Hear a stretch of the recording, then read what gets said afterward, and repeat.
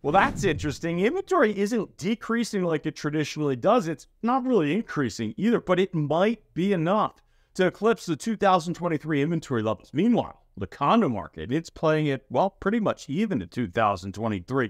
In this video, we're going to go over the single family and condo markets in the state of Massachusetts. We're also going to do a quick interest rate update, and we'll also talk about some relevant current events. And there is definitely some stronger buyer demand out there than normal, but the market, it hasn't exactly popped off yet. Buyer activity on the website, it's up. Inquiries are up buyer home buying presentation meetings are up, but it's not yet equating to a boost in sales. Yet.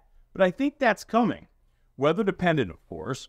Hi, I'm Jeff Chubb. I'm a recovering investment banker, turned real estate agent, and I've sold more than a thousand houses. If you have any questions about the real estate market, then know I am here to help. Also, as a quick heads up, I'm looking to buy houses. Let me know if there are any houses that you're aware of that need a lot of, well, tender loving care. The uglier, then the better. If you got one, then reach out or visit cashofferma.com. Now let's get into it all and jump into the single family market stats. Inventory is up slightly this week over week as there are now 3,000 single family homes on the market in the state of Massachusetts. It's up 60 units from last week, and it's only 2.8% less than the amount of homes that buyers had to look at just 28 days ago. Now, a couple weeks ago, I mentioned that I felt it would stick around this 3,000 handle for inventory levels until the end of February. So I feel like, well, I'm playing with a little fire right now and hoping that inventory doesn't go up too much and I lose my prediction there. This is where you can really see what I was talking about with the Eh, not really inventory growth, but inventory steadiness. In other years, we see the inventory levels pull back, but this year, we really haven't seen that so far.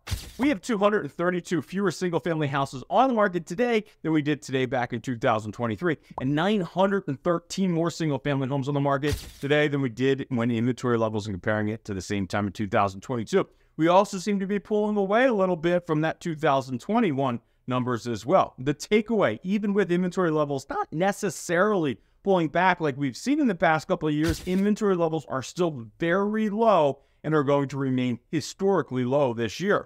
It's the new listings and under agreements where it gets, well, a little interesting and where you can see the reasons for the inventory steadiness. There were 585 single family houses that came on the market this week. Now, this was only two units or point 3% less than the same week last year. 587 single family houses came on the market. Now, two weeks ago, we listed 12% less homes, and last week was 10% less homes, and now a pretty much dead even week for new listings. The four week rolling average is 345 units, but that data includes the slow last to Christmas and Christmas to New Year's weeks when 220 and 133 new listings came on the market. Nobody wanted to list their house then. What a surprise. This, it's going to start normalizing come next week. This graph really illustrates why the inventory gap tightened so much against 2023, even though new listings were on par with 2023. We had 551 houses go under agreement last week. This, however, was 23.4%, or 168 fewer units than the same week last year when 719 single family houses went under agreement. It's in the pending data where the big difference was. Now, the four week rolling average is 432 units. This is going to really start ramping up in the coming weeks, so be prepared. So, when compared to last year's market, new listings, they were even while under agreements were down by 23%. There were 482 single family houses that closed last week for an average sales price of $753,000 and a median sales price of $578,000. Sales levels compared to the same week last year were down by 1.7%, is there are 474 single family houses that sold this week last year for an average sales price of $675,000. Months of inventory. This is how we determine what type of market we're in. Zero to five months is considered a seller's market. With the closer that you get to zero, the more aggressive and stronger of a seller's market it is. This week, months of inventory ticked up to 1.24 months from last week's 1.2 months. Now, the 1.24 months this week is compared to the 1.13 months this week last year. Real quick, it's my shameless plug. You knew it was coming. I just wanted to mention that if you are thinking about buying or selling a house, then it would be a true pleasure to help you. Now, on to the condo market. We have 1,780 condos on the market as of Monday. After a one unit increase last week, the condo market has had a big moving week with an inventory growth of an additional eight units.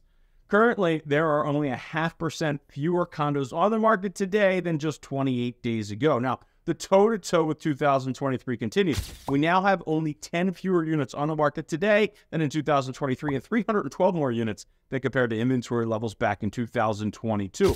The condo market, it's just threading that needle right now. Now, new listing activity was down in line with last week, but down year over year. There were 324 condos that came on the market last week with that four week rolling average of 220 condos. So 324 units listed was 24 units or 8.2% more than the 353 condos that came on the market the same week in 2023. Under agreements continue to go toe to toe with 2023 as well. This week we put 319 units under agreement. This 319 units was six units or 1.9% shy of last year's numbers when we put 325 condos under agreement. So last week it was seven units shy, and then this week it's six units shy. Looking forward to next week where it's going to be, well, five units shy? I don't know. The four week rolling average is 195 units. So 8.2% fewer listings that came on the market when compared to this week last year, while selling 1.9% fewer condos. There were 187 condos that sold this week for an average sales price of $796,000 and a median sales price of $523,000. And this same week last year, there were 187 condos that sold, so sales levels were actually down by 18.7%. Months of inventory ticked up to 1.81 months from last week's 1.76 months, and this is compared to the months of inventory levels of 1.62 months this week last year. Any chance that you can just do me a huge favor? Can you hit that like button right down there? Just believe it or not, it just helps with that YouTube algorithm. It makes a huge difference for me as well as the channel. And well, subscribing that one doesn't hurt either. So if you don't mind, consider subscribing. Time to talk about interest rates. Not a great week for interest rates. They were up a considerable amount this week. And looking at the longer term picture, though, of the last couple months, interest rates, well, it's been a pretty favorable story. So let's stay positive.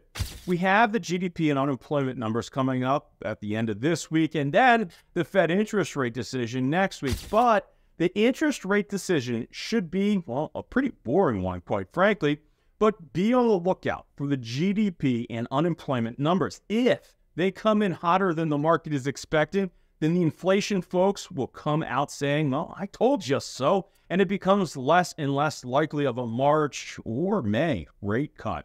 And to that point, check out this article Fed to cut in Q2, probably June. Economists less dovish than markets. Now, this article goes on to say that the Fed will wait until the second quarter before cutting interest rates, with June seen more likely than May, and less easing forecast this year than markets now are expecting and pricing in.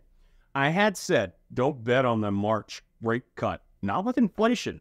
I still think they cut because of the election sometime this year, but it's not going to be in March. The article also says that only a few days ago, federal funds futures pricing for the first cut shifted to May after at one point markets gave a 90% chance of a move in March. The hot economic data last week has everything to do with that. Watch out for that GDP number. Again, it's going to matter. Ultimately, the health of the market and rate cuts and recession comes down to the American consumer. And us regular folks know, well, just how hard it's been for this high inflationary environment of the last couple of years. But it looks like it's going to get worse. Check out this article. Layoffs surged 98% in 2023. It could get worse this year. That's not what we want to hear. The article says that companies planned 721,677 job cuts last year, a substantial increase from the 363,832 layoffs reported in 2022, and that the problem could actually get worse in 2024 as the labor market it continues to soften in the face of high interest rates and stubborn inflation. Technology, that was the worst performing industry. Then retail companies, then surprisingly healthcare and product manufacturers. So there is that to look out for. But here, this is the icing on the cake. As delinquencies spike, banks are granting fewer credit lines. Now, the article says that with credit card delinquency rates at their highest levels in more than a decade, getting approved for a new line of credit, it's getting harder. That's the consumer's lifeline.